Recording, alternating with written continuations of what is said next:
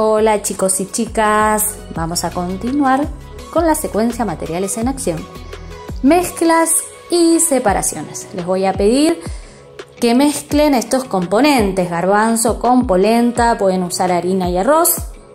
Y por el otro lado, piedras y agua.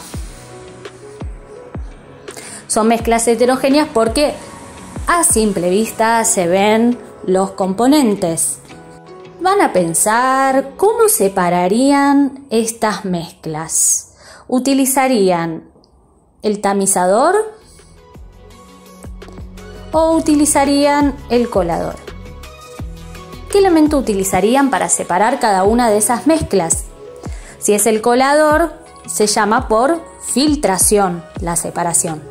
Y si utilizan el tamizador, se llama separación por tamización.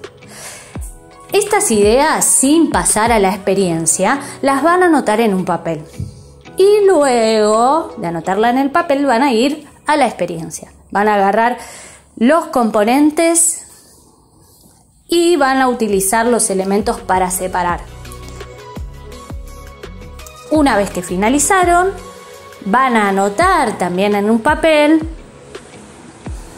qué pasó, qué sucedió y van a registrar las conclusiones. Ayudita para separar la polenta del garbanzo, utilicé y completan la oración.